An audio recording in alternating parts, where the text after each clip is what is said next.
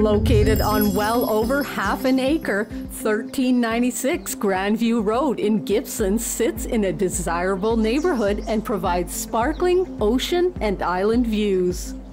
Built with solid 2x6 construction, this move in ready home has been well maintained by its longtime owners, but it would benefit from some upgrades.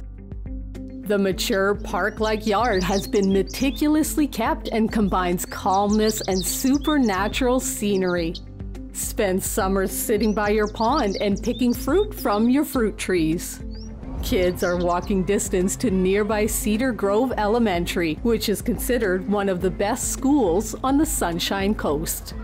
You're also a short five minute walk down to picturesque and popular Bonniebrook Beach.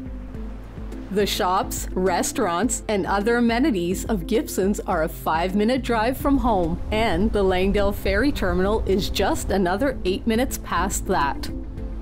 Let's go back to 1396 Grandview Road and explore your piece of paradise on BC's Sunshine Coast. Starting from the road, we walk up the driveway and past the detached workshop before stepping inside. From the foyer, we head up to the top level. At the top of the stairs is a living room with a big picture window, a skylight, and a brick fireplace. Next to the living room is the dining room with its sliding glass doors that open to the wraparound deck. A doorway brings us to an eat in kitchen with the big window that, on a clear day, gives you a view of Georgia Strait as well as Gabriola and Vancouver Islands. Leaving the kitchen, we turn left into the primary bedroom. There's a backyard facing window as well as a walk in closet that connects you to the bathroom. Back in the hall, we see the first of two bathrooms. This spacious four piece has a window and a large vanity. Bedroom number two is right next door. There's a closet and a backyard facing window.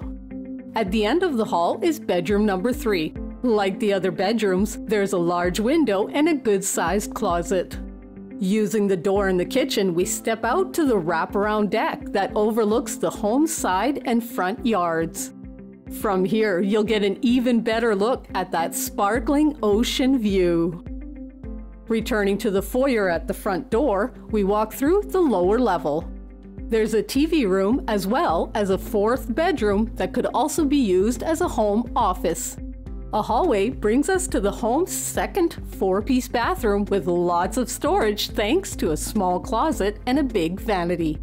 The door in front of us leads to the attached carport, and to our right is the combined laundry and utility room.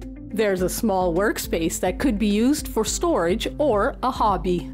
If your projects need more room, the detached workshop at the front of the house provides ample space and is wired for 220 volt power.